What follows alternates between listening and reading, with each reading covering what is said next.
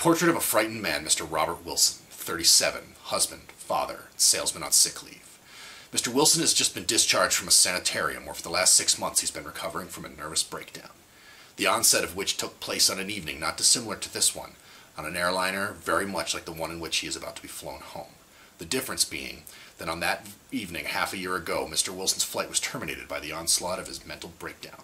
Tonight, He's traveling all the way to his appointed destination, which, contrary to Mr. Wilson's plan, happens to be in the darkest corner of the Twilight Zone.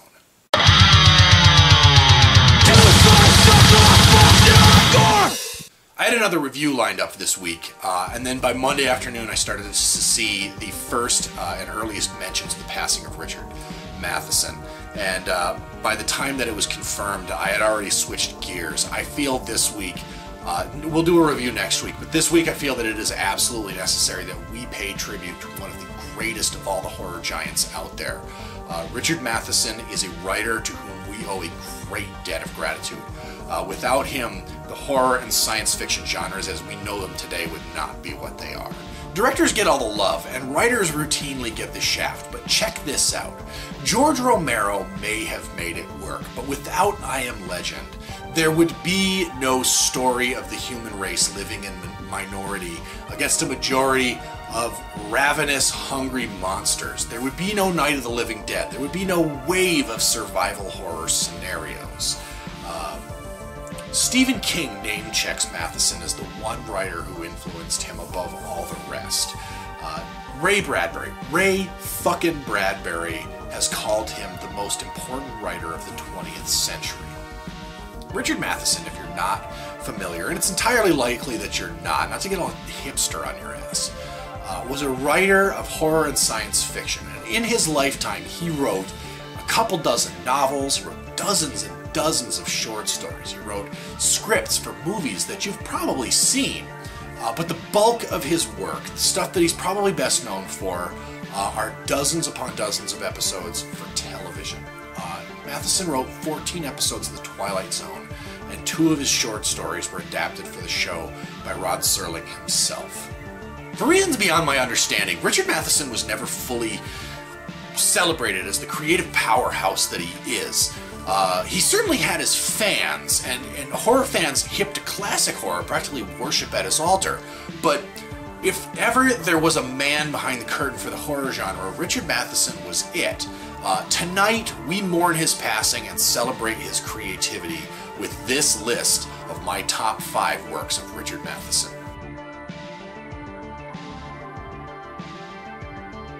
Dance of the Dead was written in 1954, and it was adapted in 2005 as part of the uh, Masters of Horror series. It was directed by uh, Tobe Hooper. Uh, the script was actually written by Matheson's son. Now, Dance of the Dead takes place some unspecified time after a rather catastrophic war has rendered most of the United States to ruin.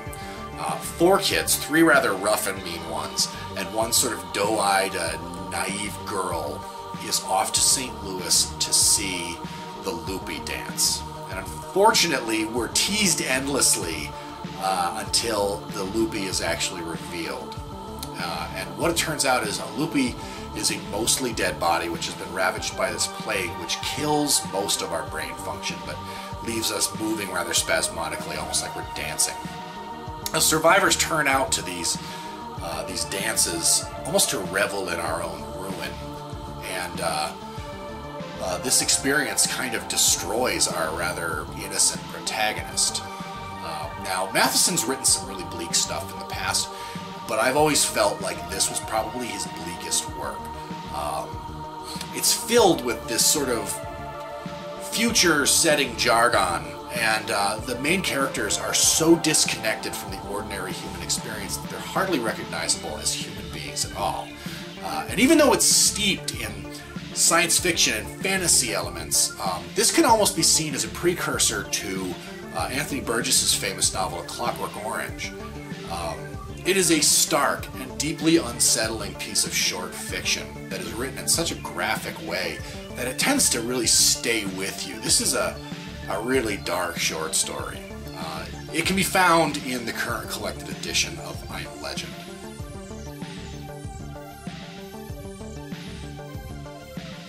Like I said, Matheson wrote a lot for television. The first season of Star Trek features an episode called The Enemy Within.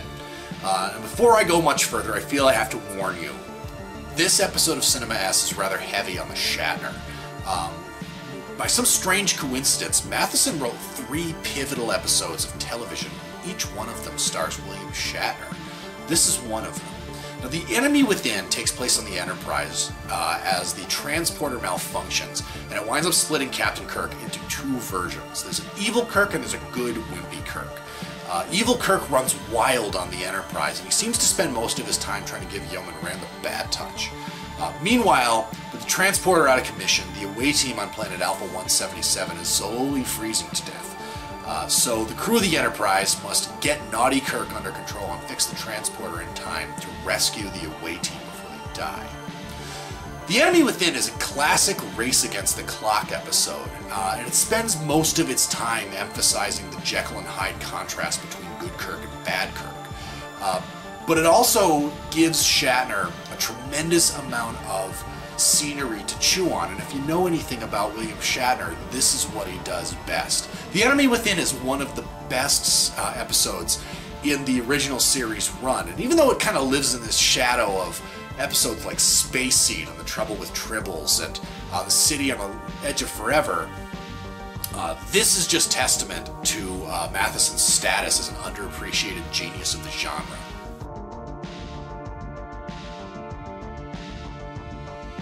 There are certain episodes of The Twilight Zone that are considered classics of television. Not just the series, I mean like television as a whole. Throwing out a line like, there's a man out on the wing is almost as good as saying something like, the rest of the book to serve man. It's a cookbook.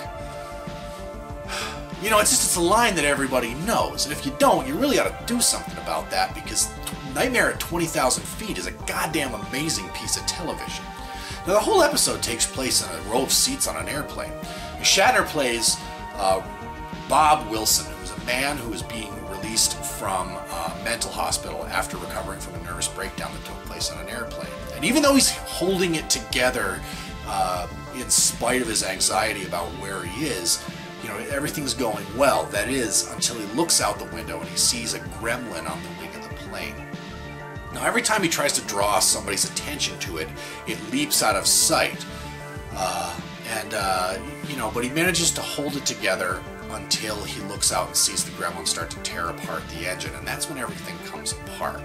Now, Matheson was really, really good about creating these little self contained pieces of anxiety. This episode takes place on the claustrophobic confines of an airplane. The enemy within takes place on the bridge, uh, sick bay, and a couple of crew quarters on the Enterprise. And as you'll see in the next segment, it also takes place in a very similar setting. Now, you really feel bad for Bob Wilson because uh, he's a victim of Matheson's mastery of uncertainty. It's uh, uh, something that he does in a lot of his stories. You maybe want to believe the guy that there's actually a gremlin on the plane, but maybe it's just his mind playing tricks on him, and we don't really know. The end, he winds up doomed because of circumstances beyond his control. It's great stuff.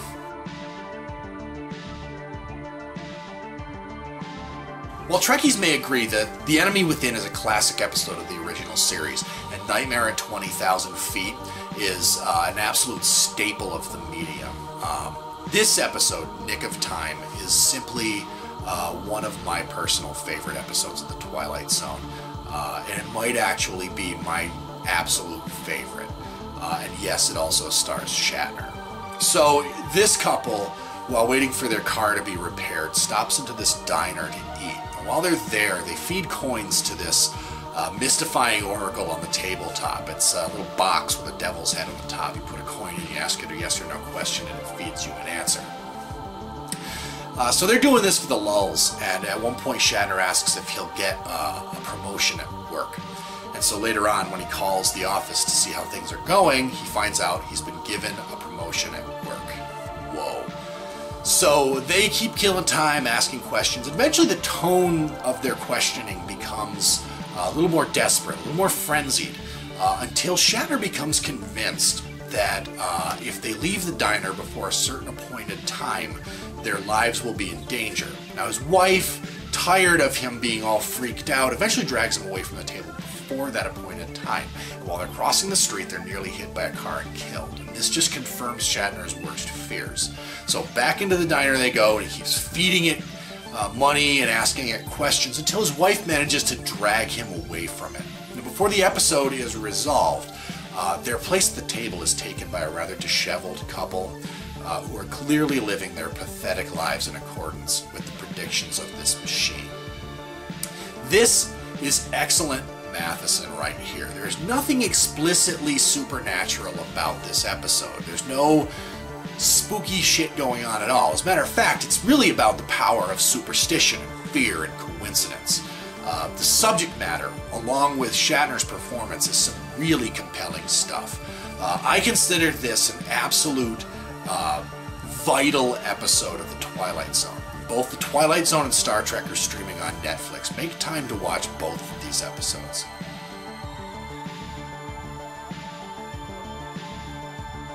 We stop here at number one, and unsurprisingly, it is I Am Legend. I Am Legend takes place after a plague is swept across the earth and has transformed everyone into ravenous, bloodthirsty monsters that, for lack of a better term, are vampires. Uh, everyone that is except for Robert Neville. Now, every night the vampires surround Neville's house and they try to break through his defenses. Uh, and then every morning, Neville gets up and he repairs the damage and he shores up his defenses and then he drinks himself stupid. Eventually, Neville changes his tune. He starts going out, gathering supplies and looking for survivors and killing the vampires while they sleep. And then eventually he finds another survivor, but not everything with her is as it seems. Too short to be a novel, too long to be a short story. I Am Legend falls into that gray area of the novella, and it is, in my opinion, that it is Matheson's single greatest work. I Am Legend was written in the early 50s, just as the Cold War was heating up, so waves of death and a catastrophic end to society dominated a lot of his plotting at the time, and it also sort of establishes the common tropes of the survival horror scenario. Before I Am Legend, there wasn't really anything like this, and for that, horror owes Matheson a great debt. Um, it's also some of the first new ideas on vampire mythology, probably since Dracula. and It also served as a great point of reference for Night of the Living Dead.